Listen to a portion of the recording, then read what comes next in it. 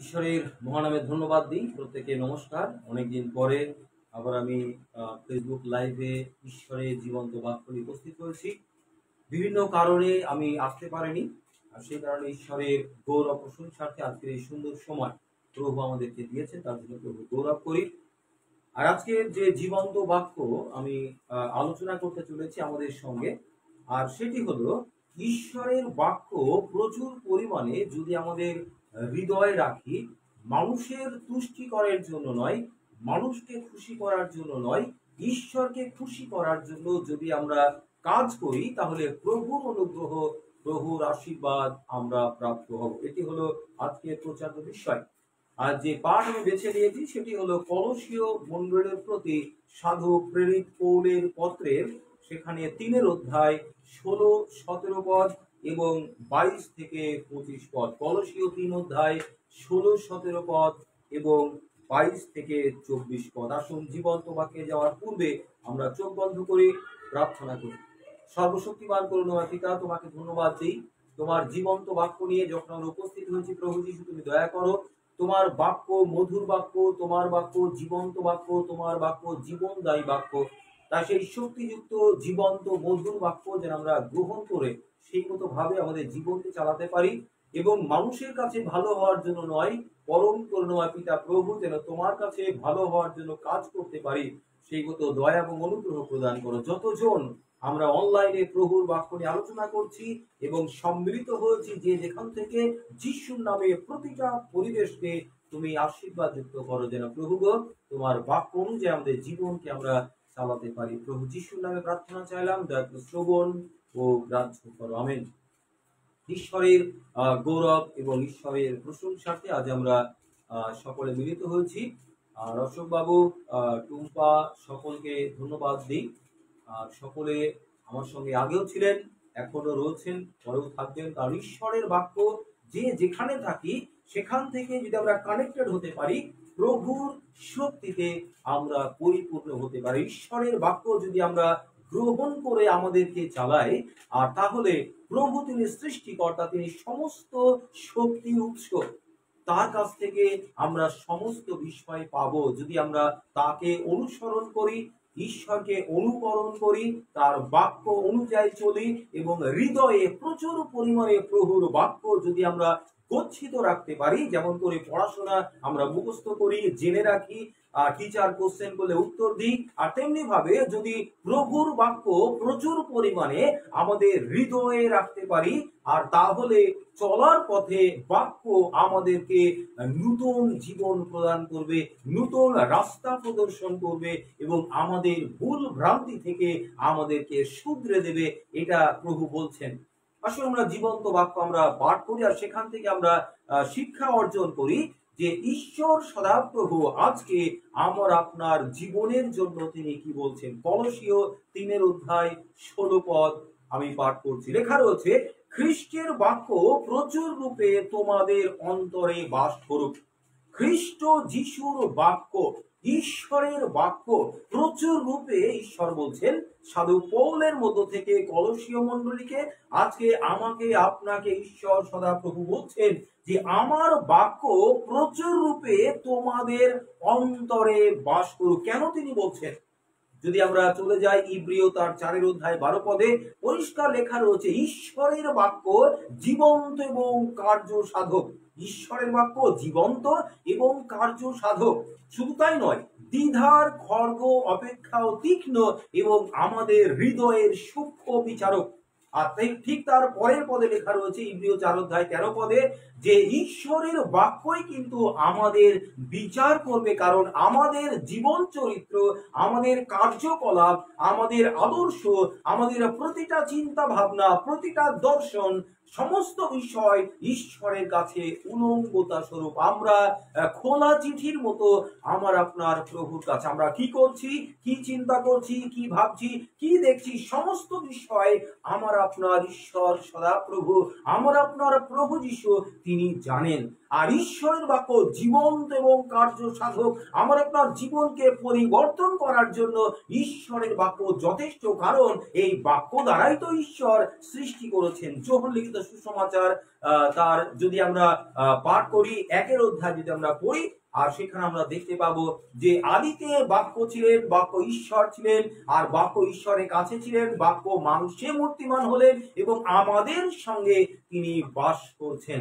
যোহন একের অধ্যায় আঠেরো পদে লেখা রয়েছে, যদি আমরা পড়ি, আর সেখানে আমরা দেখতে পাবো যে ঈশ্বরকে আমরা কেউ কোনোদিন কখনো দেখিনি, কিন্তু প্রভু যীশু খ্রিস্ট আমাদের সেই না দেখা ঈশ্বরকে তার চরিত্রের মতো থেকে, তার মতো থেকে আমাদের কাছে প্রকাশ করেছেন। কলসীয় যদি আমরা দুইয়ের অধ্যায় যদি একের অধ্যায় পনেরো, দুইয়ের অধ্যায় নয় পদ পাঠ করি, সেখানে দেখতে পাবো যে ঈশ্বরের সমস্ত ব্যক্তিত্ব খ্রিস্ট যিশুর মধ্যে দৈহিক রূপে বাস করে আর প্রভু যীশু খ্রিস্ট হলেন ঈশ্বরের প্রতিচ্ছবি।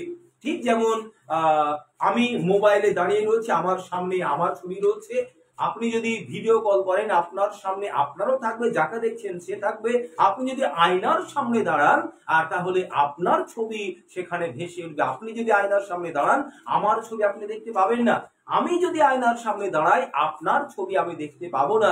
কারণ আমি যখন দাঁড়াচ্ছি, আমার প্রতিচ্ছবি, আমার রিফ্লেকশন আয়নার মধ্য থেকে আমাকে প্রকাশ পাচ্ছে, আমার স্বরূপ কেমন? তেমনি ভাবে ঈশ্বরের প্রতিচ্ছবি খ্রিস্ট যিশু কারণ খ্রিস্ট যিশুই স্বয়ং ঈশ্বর, আর তিনি বাক্য ছিলেন, আর বাক্য মাংসে মূর্তিমান হয়েছেন। বন্ধু, আমার আপনার পাশে তিনি রয়েছেন, আমার আপনার জন্য ক্রুশে জীবন দিয়েছেন, আমার আপনার জন্য মৃত্যুকে জয় করেছেন, আমার আপনার জন্য জায়গা প্রস্তুত করতে গিয়েছেন, কিন্তু তার আত্মাকে আমাদের মধ্যে রেখে দিয়েছেন আত্মাকে প্রেরণ করেছেন, পবিত্র আত্মা নামে সেই আত্মা আমাদেরকে পরিচালনা করছেন, আত্মা আমাদেরকে জাগিয়ে রাখছেন, যেন প্রভু যিশুর দ্বিতীয় আগমন পর্যন্ত আমাদেরকে আমরা প্রস্তুত করতে পারি। আর সেই জন্য একটা শক্তির প্রয়োজন, একটা লিডারশিপের প্রয়োজন, একটা মাধ্যমের প্রয়োজন। আর সেটা হচ্ছে ঈশ্বরের বাক্য স্বয়ং। তাই প্রভু বলছেন যে, আমার বাক্য প্রচুর রূপে তোমাদের অন্তরে বাস করে বন্ধু, আমার আপনার হৃদয়ে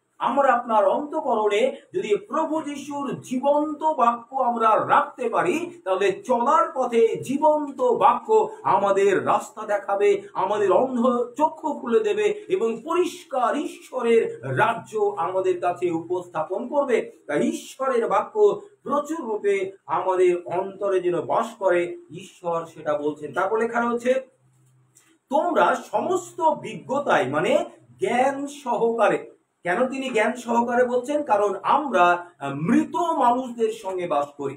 ইবিসিও তার পাঁচের অধ্যায় চোদ্দ পদে প্রভু যিশু বলছেন সাধু পৌলের মধ্য থেকে ঈশ্বর ইবিসীয় মন্ডলীকে আজকে আমাদেরকে বলছেন যে, হে নিদ্রাগত ব্যক্তি, জাগ্রত হও মৃতগণের মধ্য থেকে উঠো তাদের ঈশ্বর তোমাদের উপরে আদৌ উদয় করবে নিপিসীয় পাঁচ অধ্যায় চোদ্দ পদে লেখা রয়েছে, আর ঠিক পরের পদে লেখা রয়েছে, অজ্ঞানের মতো না চলিয়া জ্ঞানবানের ন্যায় চলো, সুযোগ কিনিয়া লও কেননা এই কাল বড় মন্দ বন্ধু, কোন রাস্তায় গেলে সুখ পাবো, কোন রাস্তায় গেলে শান্তি পাবো, কোন পথ অবলম্বন করলে আমি পরিত্রাণ পাবো, মুক্তি পাবো, আর ঈশ্বরের রাজ্যের জন্য আমরা প্রস্তুত হব, জীবন মুকুট পাবো, অনন্ত জীবন পাবো, স্বর্গ বাড়িতে যাব, পৃথিবীতে শান্তিতে থাকব আর সেটা আমরা খুঁজি, তাই প্রভু যিশু বলছেন, চিন্তার কোনো কারণ নেই, আমি সেই পথ, আমি সেই সত্য, আমি সেই জীবন। কেবলমাত্র আমাকে অনুসরণ করো, অনুকরণ করো, আর আমি তোমাদেরকে তোমাদের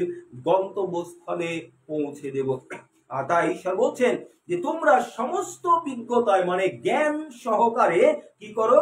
গীত, স্তোত্র ও আত্মিক সংকীর্তন দ্বারা পরস্পর শিক্ষা ও চেতনা দান করো। আত্মিক সংকীর্তন, আত্মার সঙ্গে আত্মার যদি মিলন না হয়, তাহলে আমি আপনি যেখানেই রয়েছি, যদি মিলন না হয়, আত্মার সঙ্গে আত্মার কানেকশন না থাকে, তাহলে প্রভুর গৌরব আমরা করতে পারব না। কিন্তু বন্ধু, যদি আমি যেখানে রয়েছি, আপনি যেখানে রয়েছেন, যদি আত্মার সঙ্গে ঈশ্বর যে আত্মা আমাকে দিয়েছেন, সেই আত্মা আপনাকে দিয়েছেন, এই আত্মা যদি আমরা একত্রিত না হতে পারি, তাহলে প্রভুর গৌরব আমরা করতে পারি না। কিন্তু যখন আমাদের সকলের হৃদয়, সকলের অন্তকরণ, আত্মা যখন একত্রিত আমরা হব, আর তখন আমরা আত্মিক সংকীর্তনে প্রভুর গৌরব প্রভুর প্রশংসা করব। মৌখিক নয়, হৃদয় থেকে প্রভুর গৌরব করা প্রয়োজন রয়েছে।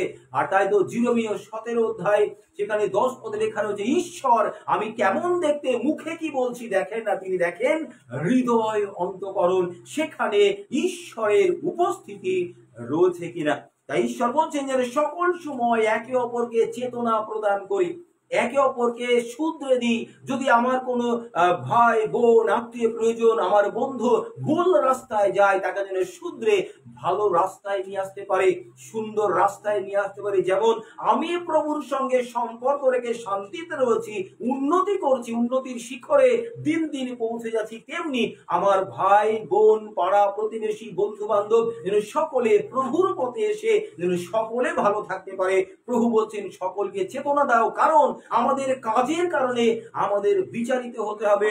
আমরা শেষ পদে আমরা দেখব কলসীয় তার তিনের অধ্যায় পঁচিশ পদে সেখানে দেখব যে যারা প্রভুর পথে চলে না, প্রভুর বাক্য অনুযায়ী জীবনযাপন করে না, তাদের কি বিচার সেখানে রয়েছে? আর তারপর লেখা রয়েছে অনুগ্রহে, ঈশ্বরের অনুগ্রহে আপন আপন হৃদয়ে ঈশ্বরের উদ্দেশ্যে গান করো। নিজ নিজ হৃদয়ে ঈশ্বরের উদ্দেশ্যে গুণগান করার কথা ঈশ্বর সদাপ্রভু বলছেন, সাধু পৌলের মধ্য থেকে। তাই আসুন আমাদের পরিবারে অন্য কোনো আলোচনা নয়, অন্য কোনো বিষয় নয়, জাগতিকতায় মত্ত তো নয়, কিন্তু ঈশ্বরের আশীর্বাদে মত্ত হয়ে, ঈশ্বর নামে মত্ত হয়ে প্রভুর গৌরব করে এবং সকলকে প্রভুর রাস্তা চেনায় যেন সকলে সুন্দর মানুষ হতে পারে এবং প্রভুর গৌরবার্থে যেন জীবন যাপন করতে পারি। আর বাক্যে কি কার্যে যাহা কিছু করো, সকলেই প্রভু যিশুর নামে করো। তাহার দ্বারা পিতা ঈশ্বরের ধন্যবাদ করিতে করিতে কর, সতেরো পদে লেখা রয়েছে, আমরা সকল সময় কাজ করি মানুষের কাছে ভালো হওয়ার জন্য। কিন্তু বন্ধু, প্রভু যিশু কি বলছেন? ঈশ্বর কি বলছেন? ঈশ্বর বলছেন যে সকল সময় আমরা চাই আমি যেটা করব, তার থেকে ফল যেন আমি পাই। ফল পাওয়ার আশায় আমরা কাজ করি। কিন্তু প্রভু কি বলছেন? বাক্যে কি কার্যে যা কিছু করো, আমি প্রভুর জন্য নিঃস্বার্থ ভাবে করছি, এই চিন্তা ভাবনা নিয়ে করতে হবে, তাহলে প্রভু স্বয়ং আমাদেরকে অনুগ্রহ দেবেন, প্রভু স্বয়ং আমাদেরকে আশীর্বাদ দেবেন। কারণ তিনি প্রতিজ্ঞা করেছেন যোহন তার পনেরো অধ্যায় প্রথম থেকে আট পদের মধ্যে, যদি তোমরা আমার সঙ্গে সম্পর্কযুক্ত হও, তোমাদের যাহা ইচ্ছা হয় আমার কাছে যাচনা করিও, আমি তোমাদের জন্য সেটাই করব। তারপর লেখা রয়েছে বাইশ পদের, আমি দ্বিতীয় অংশ থেকে পড়ছি মনুষ্যের তুষ্টিকরের মতো নয়, যেটা আমি বলছিলাম, আমরা মানুষকে তুষ্টি করার জন্য, মানুষকে খুশি করার জন্য, মানুষের কাছে উঁচু নাম, উঁচু পদ, উঁচু আসন পাওয়ার জন্য, মানুষের কাছে সম্মান পাওয়ার জন্য, মানুষের কাছে নাম কেনার জন্য আমরা কাজ করি। মানুষকে দেখিয়ে দান ধ্যান করি, বন্ধু। তাই তো মতিতার ছয়ের অধ্যায়, প্রভু যিশু বলছেন, মানুষকে দেখানোর জন্য দান, ধ্যান ধর্মকর্ম উপবাস বা প্রার্থনা তোমরা করো না। কিন্তু প্রভুর উদ্দেশ্যে করো, যিনি গোপনে তোমার দান ধ্যান উপবাস প্রার্থনা দেখেন, গোপনে তোমাকে আশীর্বাদ করবেন, গোপনে তোমাকে উত্তর দেবেন। এই বিষয় ঈশ্বর সদাপ্রভু তিনি বলছেন মতিলিখিত সুসমাচার তার ছয়ের অধ্যায় যদি আমরা প্রথম থেকে দশ পদ আমরা পাঠ করি, আর এখানে লেখা রয়েছে, মনুষ্যের তুষ্টিকরের মতো নয়, মানুষকে দেখানোর জন্য নয়, মানুষের কাছে ভালো হওয়ার জন্য নয়, কিন্তু অন্তকরণের সরলতায় প্রভুকে ভয় করিয়া আজ্ঞাবহ হও। অন্তকরণ সহকারে কার্য করতে হবে। মানুষকে যখন আমরা দান ধ্যান করব, আমরা যখন প্রার্থনা করব, উপবাস করব, মানুষের কাছে আমরা যাব, আর তখন ঈশ্বরের উদ্দেশ্যে প্রভুর গৌরব করে হৃদয় অন্তকরণ সহকারে সেই কার্য আমাদের করা প্রয়োজন রয়েছে। যেন মানুষের কাছে ভালো হওয়ার জন্য নয় কারণ ঈশ্বর আমাদের গোপনে দেখেন, আমাদের গোপনে উত্তর দেবেন। কারণ মানুষ, আমি সবসময় বলে, মানুষ যে আজকে চেয়ার দেবে, কয়েক মুহূর্তের জন্য সেটা কেড়ে নেবে অন্য অন্যজনকে দেবে। কারণ মানুষ স্বার্থপর। কিন্তু ঈশ্বর স্বার্থপর নন, যদি ঈশ্বরকে দেখানোর জন্য কার্য করি বন্ধু, হৃদয় থেকে করি, আর তাহলে প্রভু যে চেয়ার আমাদেরকে দেবেন, যে সম্মান আমাদেরকে দেবেন, যে ধন সম্পদ আমাদেরকে দেবেন, যে ঐশ্বর্য আমাদেরকে দেবেন বন্ধু, কেউ কোনোদিন সেই ধন সম্পদ, সম্মান, ধার্মিকতা, ঐশ্বর্য কেড়ে নিতে পারবে না। কারণ ঈশ্বর সদাপ্রভু আমাদের পাশে থাকবে। তাই মানুষের কাছে আনন্দ পাওয়ার জন্য নয় মানুষের কাছে বড় হওয়ার জন্য নয়, মানুষের তুষ্টিকরের জন্য নয়, কিন্তু সন্তুষ্ট করতে হবে কাকে? ঈশ্বর সদাপ্রভুকে। ঈশ্বর সদাপ্রভুকে আমাদের সন্তুষ্ট করার প্রয়োজন রয়েছে। আর তাহলে প্রভু তিনি বলছেন যে তিনি আমাদেরকে আশীর্বাদ করবেন, অনুগ্রহ করবেন এবং পরিচালনা আমাদেরকে করবেন। তারপর লেখা রয়েছে, যাহা কিছু করো, প্রাণের সহিত কার্য করো। মনুষ্যের কর্ম নয় কিন্তু প্রভুরই কর্ম বলিয়া করো। ঈশ্বর বলছেন, যাহা কিছু করো, কি করতে হবে?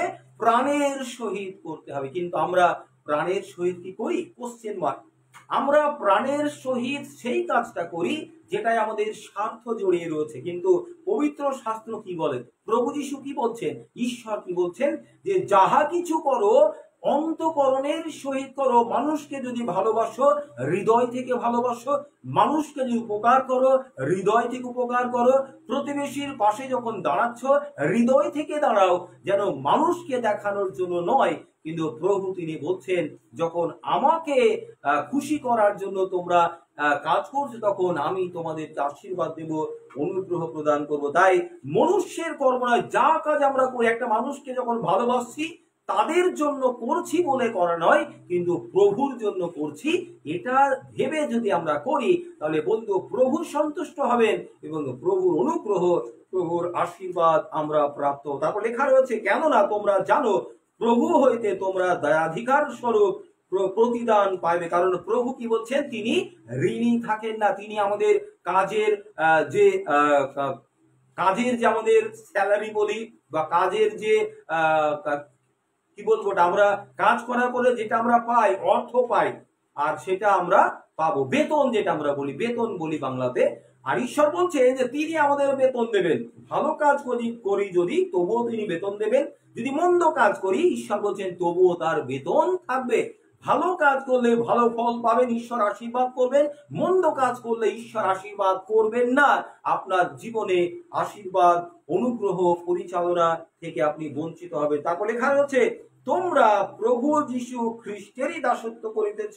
বস্তুত যে অন্যায় করে, সে আপনার কৃত অন্যায়ের প্রতিফল পাইবে। প্রভু তিনি বললেন, এতক্ষণ ধরে যে তার বাক্য অনুযায়ী যেন আমরা চলি, মানুষের তুষ্টিকরের জন্য নয়, মানুষের কাছে বড় আসন পাওয়ার জন্য নয়, মানুষকে দেখানোর জন্য নয়, প্রভুকে দেখানোর জন্য যদি আমরা কাজ করি, অন্তকরণের সঙ্গে করি, প্রভুর গৌরবের জন্য করি, হৃদয় থেকে করি, আর তাহলে প্রভুর অনুগ্রহ পাওয়ার যদি না করি, তার প্রতিফল আমরা আরও পাঠ করছি।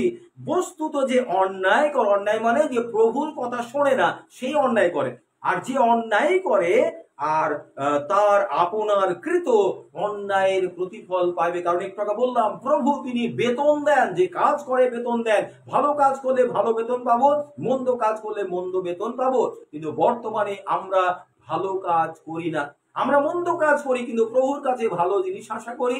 আমি পরীক্ষার খাতায়, আমি কিছুই প্রশ্নের উত্তর লিখলাম না, কারণ পড়াশোনা করিনি। আমি আশা করছি আমাকে মাস্টার মশাই পাশ করে দেবেন। সম্ভব নয়।